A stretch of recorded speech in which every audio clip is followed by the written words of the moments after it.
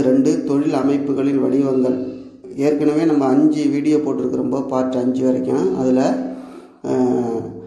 தொழில் அமைப்புகளின் வடிவங்களில் பார்த்தீங்க அப்படின்னா தனியார் வணிகத்தை பற்றி இந்து கூட்டு குடும்பத்தை மட்டும் பார்த்தாச்சு. இப்போ அடுத்து கூட்டாண்மையை பற்றி பார்க்க போகிறோம் பார்ட்னர்ஷிப் அப்படின்னு சொல்கிறோம்ல அதை கூட்டாண்மையை பற்றி பார்க்க போகிறோமோ அந்த கூட்டாண்மைனா என்ன? அதில் என்னென்ன எல்லாம் தொழில் செய்கிறாங்க எப்படி அதை வரைமுறையெல்லாம் இருக்குது அப்படின்னு சொல்லி இந்த பாட்டில் நம்ம பார்க்கலாம். கூட்டாண்மைன்னா அதுக்கு என்ன வரைவிலக்கணம் கொடுத்துருக்காங்க அப்படின்னு பார்ப்போம். கூட்டாண்மை அப்படிங்கிறதுக்கு பேராசிரியர் ஹேனே அப்படிங்கிறவர் தனிப்பட்ட லாபங்களுக்காக ஒரு வியாபாரத்தை ஒப்புக்கொண்டு நடத்தக்கூடிய நபர்களுக்கிடையே நிலவும் உறவு கூட்டாண்மை அப்படின்னு சொல்கிறாரு அதே ஸ்பிரிக்கிள்ஸ் அப்படிங்கிற ஒரு கூட்டாண்மையில் இரண்டு அல்லது இரண்டுக்கு மேற்பட்ட நபர்கள் அனைவரும் கூட்டாண்மை பொறுப்புகளுக்கு கடமைப்பட்டவர்கள். ஒவ்வொரு கூட்டாளியின் நடவடிக்கையும் மற்ற கூட்டாளியை கட்டுப்படுத்தும் மேலும் கூட்டாண்மையின் கடன்களை தீர்க்க கூட்டாளிகளின் சொத்துக்கள் எடுத்துக்கொள்ளப்படும் அப்படின்னு சொல்லி ரெண்டு பேர் வரைவிலக்கணம் கொடுத்துருக்காங்க. ஒன்றும் இல்லை கூட்டாண்மை அப்படின்னா ரெண்டு அல்லது அதற்கு மேற்பட்ட நபர்கள் தாங்களுக்குள்ள ஒரு ஒப்பந்தத்தை போட்டுக்கிட்டு அவங்க நபர்களுக்கிடையே உடன்பாடு ஏற்பட்டதுக்கு பிற்பாடு அந்த செய்யக்கூடிய தொழிலை செய்கிறது தான் என்ன அப்படின்னா அந்த கூட்டாண்மை அப்படின்னு சொல்கிறாங்க அந்த கூட்டாண்மையில் என்னென்ன எல்லாம் சிறப்பியல்புகள் இருக்குது அவங்களுக்கு என்ன உரிமை இருக்குது என்ன கடமை இருக்குது எப்படி தொழில் செய்ய போகிறாங்க அப்படின்னு சொல்லி நம்ம அந்த பாட்டில் தொடர்ச்சியாக பார்த்துக்கிட்டே வரலாம். பார்ட்னர்ஷிப்போட இயல்புகள் கூட்டாண்மையோட இயல்புகள் உடன்பாட்டு உறவு அதாவது கூட்டாண்மை அப்படிங்கிறது உடன்படிக்கையால் ஏற்படக்கூடிய உறவு தகுதியுடையவர்கள் மட்டுமே சட்டப்படி கூட்டாளியாக இருக்க முடியும் அப்படின்னு இதில் அந்த பாயிண்ட்டுகளில் கூட்டாண்மையின் இயல்புகளில் ஃபஸ்ட்டு பாயிண்ட்டு உடன்பாட்டு உறவு அப்படின்னு சொல்லியிருக்காங்க. அடுத்தது இதில் நபர்கள் கூட்டாண்மை ஏற்படுத்த குறைஞ்சபட்சம் ரெண்டு கூட்டாண்மை ஆரம்பிக்கணும்னா அதுக்கு வந்து குறைஞ்சபட்சம் ரெண்டு நபர்கள். வங்கி தொழிலாக இருந்தால் பத்து நபர். வேறு ஏதாவது மற்ற தொழிலாக இருந்ததுன்னா இருபது நபர்கள் இருக்கலாம் அப்படின்னு கூட்டாண்மையில் இயல்புகளில் சொல்கிறாங்க அடுத்து மூணாவது பாண்டு வணிகத்தோட தன்மை. சட்டப்பூர்வமாக நடத்தக்கூடிய வணிகம் அல்லது தொழிலை உடன்படிக்கையின் மூலம் ஏற்படுத்தப்படும் அமைப்பே கூட்டாண்மை. அதாவது சட்டப்படியான தொழிலை மட்டும்தான் அந்த கூட்டாண்மையில் நடத்தணும். அடுத்தது லாப பகிர்வு. லாபத்தை எப்படி பிரிச்சுக்கிடுவாங்க? கூட்டாண்மை எதுவும் ஒப்பந்தம் போடலை அப்படின்னா அவங்க சமமாக பிரிச்சுக்கிடுவாங்க. அது சம்பாதித்த பணத்தை அனைத்து கூட்டாளியும் பங்கிட்டு கொள்கின்றனர். அதில் உடன்பாடு எப்படி அவங்க பிரிச்சுக்கணும்னு சொல்கிறாங்களோ அதுக்கு தகுந்த மாதிரி அந்த லாப பகிர்வை பிரிச்சுக்கிடுவாங்க. பரஸ்பர முகமை. கூட்டாண்மையில் முகமையே உறவு. அதாவது அவங்க ஒவ்வொருத்தருக்கு என்ன பண்ணுறது? ஒரு முகவர் மாதிரி இருந்து அவங்க செயல்படுவாங்க.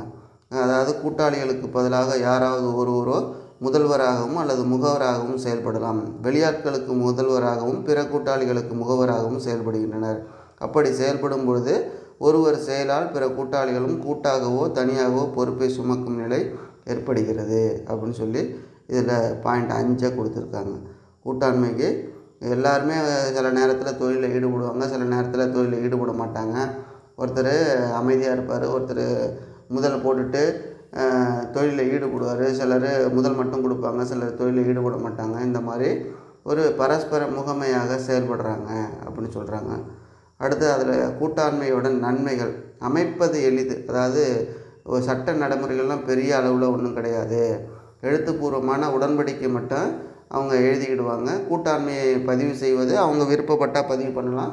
பதிவு பண்ணாமல் இருக்கலாம். அது வந்து கூட்டாண்மை செய்தல் வந்து விருப்பத்திற்கு உட்பட்டது அப்படின்னு சொல்லியிருக்காங்க. கூட்டாண்மை பதிவு செய்யக்கூடிய நடைமுறை அப்படிங்கிறது எளிமையான நடைமுறை தான்.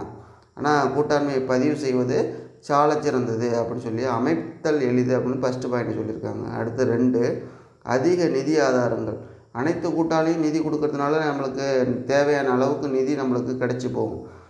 ஏன்னா ஒரு பத்து கூட்டாளி இருக்காங்க அப்படின்னா ஒவ்வொருத்தர் நிதி கொடுக்குறப்ப நிதி அதிகமாக சேர வாய்ப்பு இருக்குது அது ஒரு நன்மையாக சொல்கிறாங்க மூணாவது பாயிண்ட்டு சிறந்த தொழில் முடிவுகள். ஒரே ஒருத்தர் இப்போ தனியார் வணிகத்தில்னா ஒருத்தர் தான் முடிவெடுக்க முடியும். இங்கே என்ன பண்ணலாம் அப்படின்னா கூட்டாண்மை கலந்து ஆலோசித்து சிறந்த முடிவாக எடுக்க முடியும். அவசரமாக எதையும் எடுக்க மாட்டாங்க. அது ஒரு நன்மையாக சொல்கிறாங்க கூட்டாண்மையில். அடுத்து வேலை பகிர்வு மற்றும் உயரிய மேலாண்மை திறன். இப்போ கூட்டாண்மையில் ஒவ்வொருத்தருக்கும் ஒரு திறமை இருக்கும். ஒருத்தர் நல்லா படிச்சிருப்பாங்க ஒருத்தர் நல்ல வேலை செய்வாங்க ஒருத்தருக்கு நுணுக்கங்கள் நிறைய தெரியும். சில பேருக்கு வியாபார யுக்தி தெரியும். இப்போ பல கூட்டாளிகள் ஒன்றா சேர்ந்து வியாபாரம் செய்கிறப்ப கொள்முதல் துறையை கவனிக்கிறதுக்கு ஒருத்தர் விற்பனை துறையை கவனிப்பதற்கு அது மாதிரி ஆழ கணக்கு பதவிகள் ஒவ்வொரு துறையும் ஒருத்தட்ட ஒப்படைக்கிறப்ப சிறந்த மேலாண்மை திறன் இருக்கும்.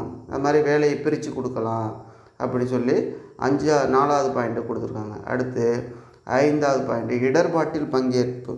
கூட்டாண்மையில் லாபத்தை எல்லாம் பிரிச்சுக்கிற மாதிரி நட்டங்களையும் எல்லாரும் பகிர்ந்துக்கிறதுனால நிறுவனம் வந்து திடீர்னு நொடிச்சு போகாது. தொடர்ச்சியாக இயங்கக்கூடிய வாய்ப்பு இருக்குது அப்படின்னு அஞ்சாவது பாயிண்ட்டு சொல்கிறாங்க ஆறாவது பாயிண்ட்டு வரையறா பொறுப்பு மற்றும் கடன் தகுதி இப்போ தனியார் நிலையத்திலலாம் பார்த்திங்கன்னா அவரோட பொறுப்பு வரையறுக்கப்படாத பொறுப்பாக இருக்கும். இந்த கூட்டாண்மையில் ஒரு சிலருக்கு ஒரு சில பொறுப்பு கொடுப்பாங்க கொடுக்காம இருப்பாங்க. அது மாதிரி எல்லா கூட்டாளிகளும் உங்களுக்கு கடன் பெற வாய்ப்பு இருக்குது அதனால் கடன் தகுதியெல்லாம் இருக்குது வரையற பொறுப்பு மற்றும் கடன் தகுதி. அடுத்தது அனைவரோட நலனும் பாதுகாக்கப்படுதல்.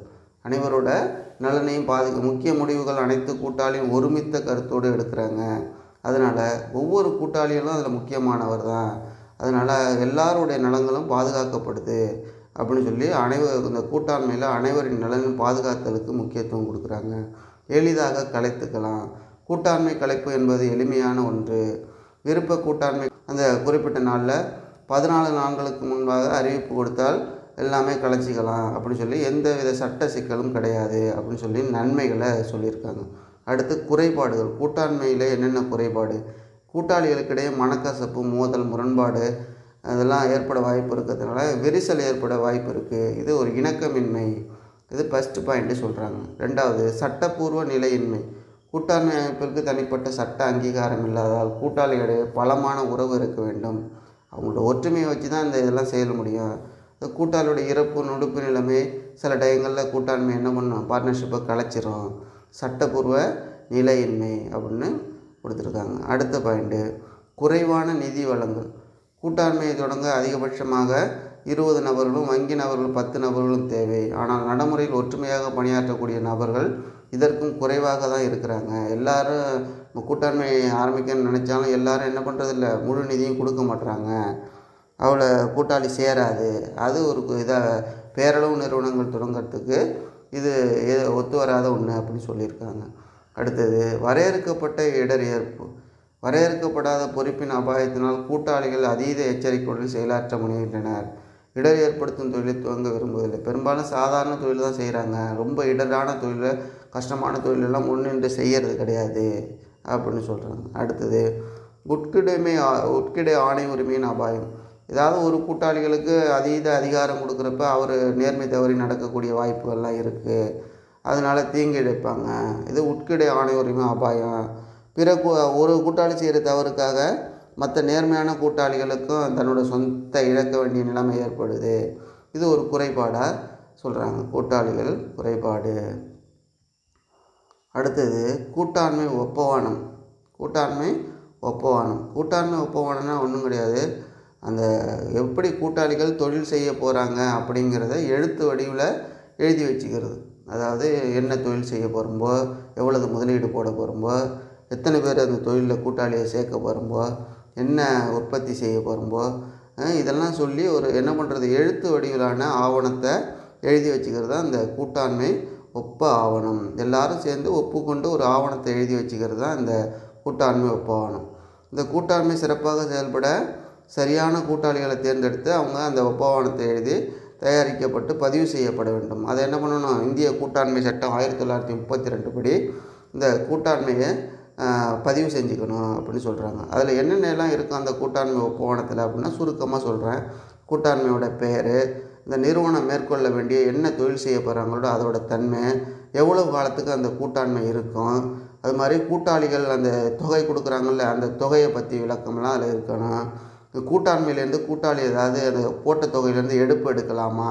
அது சம்மந்தமாக அந்த ஒப்பவானத்தில் எழுதியிருக்கணும். அடுத்தது லாப நட்டத்தை எப்படி பிரிச்சுக்க போகிறாங்க சமமாகவா அல்லது குறிப்பிட்ட விகிதப்படியாக எப்படி பிரிச்சுக்க போகிறாங்க அந்த இதெல்லாம் இருக்கணும். அடுத்தது முத மூலதனத்தை கொடுத்துருந்தாங்க. அதுக்கு ஏதாவது வட்டி கொடுப்பாங்களா கூட்டாளிகளுக்கு? அது சம்மந்தமாக இந்த ஒப்பந்தத்தில் இருக்கணும். எடுப்பு தொகை மீது வட்டி விகிதம் எவ்வளவு எடுக்கிறாங்க அப்படின்னு சொல்லி அந்த வட்டி விகிதமெல்லாம் அந்த கூட்டாண்மை ஒப்பந்தத்தில் இருக்கணும். இது இது வரைக்கும் நம்ம வந்து அந்த கூட்டாண்மை ஒப்பந்தம்னா என்ன? அந்த கூட்டாண்மை ஒப்பந்தத்தில் என்னென்ன எல்லாம் உள்ளடங்கியிருக்கு உள்ளடக்கங்கள். அப்படி கொஸ்டின் கேட்பாங்க. கூட்டாண்மை ஒப்பந்தம் என்றால் என்ன? அதன் உள்ளடக்கங்கள் யாவை? அப்படின்னு சொல்லி கொஸ்டின் கேட்பாங்க. அது மாதிரி கூட்டாளிகளுக்கு தரும் கடன். ஏதாவது கூட்டாளிகளுக்கு கடன் கேட்டால் கொடுக்கலாமா? எப்படி கணக்கு கணக்குகளை எப்படி பராமரிக்கிறது? அதை எப்படி ஆடிட் பண்ணுறது இதெல்லாம் அந்த ஒப்பந்தத்தில் தெளிவாக இருக்கணும். கூட்டாளிகளுக்கு சம்பளம் கொடுப்பாங்களா? அதுக்கு அவங்க ஏதாவது மிகச்சிறந்த வியாபாரம் பண்ணால் அதுக்கு ஏதாவது கழிவெல்லாம் உண்டா? இதெல்லாம் எதில் இருக்கணும்? அந்த உடன்படிக்கையில் எழுதியிருக்கணும்.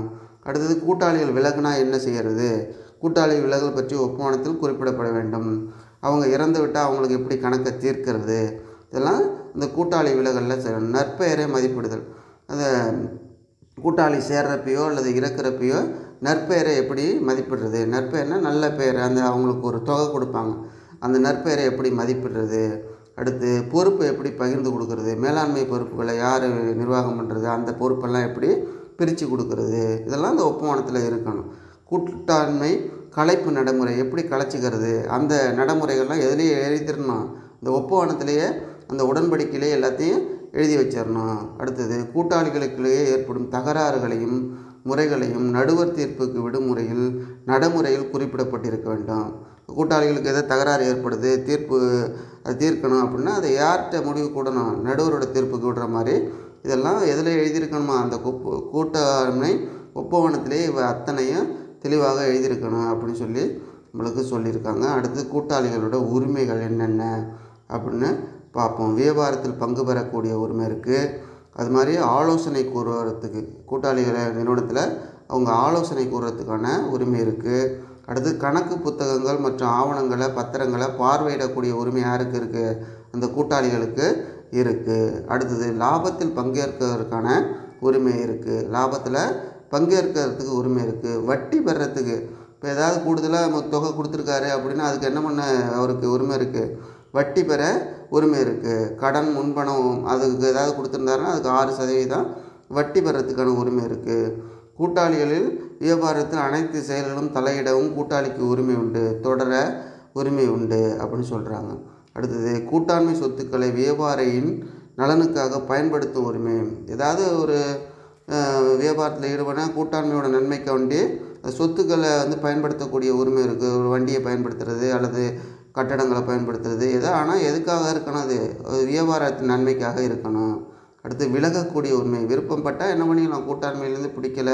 அல்லது உனக்கு அவங்களுக்கு அந்த கூட்டாளியிலேருந்து வேறு ஒரு கூட்டாண்மை நிறுவனம் ஆரம்பிக்க போகிறாங்க இல்லை வேறு தனியாக ஆரம்பிக்க போகிறாருன்னா அதுலேருந்து விலகுவதற்கு அவருக்கு உரிமை உண்டு. இதெல்லாம் என்னது? கூட்டாளியோட அந்த உரிமைகளாக சொல்கிறாங்க அடுத்தது கூட்டாளிகளில் தொடரும் உரிமை. கூட்டாண்மையில் தொடர்ச்சியாக ஒரு தொடருக்கான உரிமை உண்டு. அடுத்து கூட்டாளிகளோட கடமைகள். அனைத்து கூட்டாளிகளும் தொழில் நடத்துதல். அனைத்து கூட்டாளிகளுக்காக என்ன பண்ணுறது தொழிலை நடத்துறது. ஒவ்வொரு கூட்டாளிகளும் கடமையாக இருக்குது எல்லா கூட்டாளிக்காக அது தொழில் நடத்தணும். உண்மையாக இருக்க வேண்டும். எப்பயுமே அந்த பொறுப்புணர்வோட கடமை உணர்ச்சியோட உண்மையாக இருக்கணும். நேர்மையாக இருக்கணும் அப்படின்னு சொல்கிறாங்க அடுத்தது கணக்குகள் ஒப்படைத்தல் உண்மைத்தன்மை. இது ஒரு முக்கியமான கடமை சொல்லுவோம் ஒப்படைக்கிறது என்ன பண்ணணும் கணக்கு ஒப்படைக்கிறது போதெல்லாம் சரியாக செய்யணும் ரசீதெல்லாம் பெற்று கொடுக்கணும். அடுத்தது நிறுவனத்திற்கு ஈடு செய்யும் கடமை. ஏதாவது ஒரு நட்ட இழப்பு ஏற்படுது அப்படின்னா எல்லா கூட்டாளியும் அதில் பங்கேற்கணும். அது அவங்களோட கடமை. இழப்புகளை ஈடு செய்யும் கடமை இவங்களுக்கு உண்டு.